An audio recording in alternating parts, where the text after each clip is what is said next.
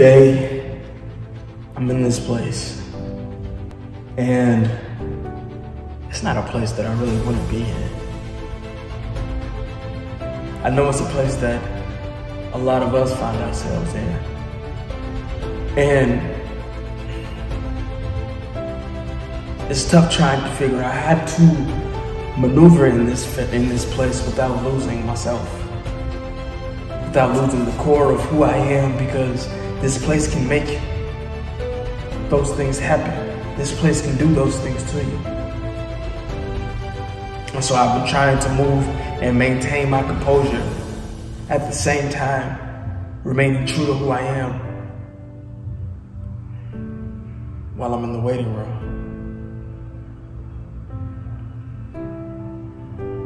And just like me, many of you have been stuck in a place where you're just waiting. And you're wondering, how long do you have to wait? Why are you even waiting so long? Why does it take so long for your dream to come to pass? Why does it take so long for your marriage to not be in shambles? Why does it take so long for your kids to get the acts together and act right? Why does it take so long? And the truth is, the waiting room is not about them about you. The waiting room is the place where your patience is developed, your character is developed. You develop peace and understanding of who you are as a person.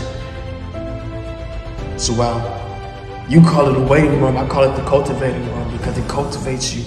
It cultivates your character, it cultivates your patience, it cultivates all the things you need to sustain you for the place you're trying to go.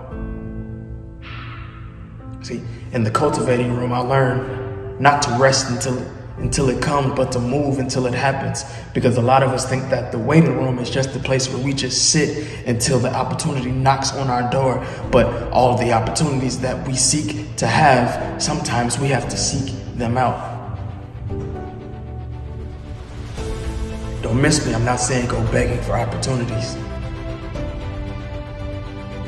But we will miss a, a, lot of opportunities because we're waiting on the big opportunity to come when really big moments are really made in the small ones. And so whenever we get a small moment, we have to take advantage of that and move towards the big moment, but we won't take it because we're resting until it comes instead of moving until it happens.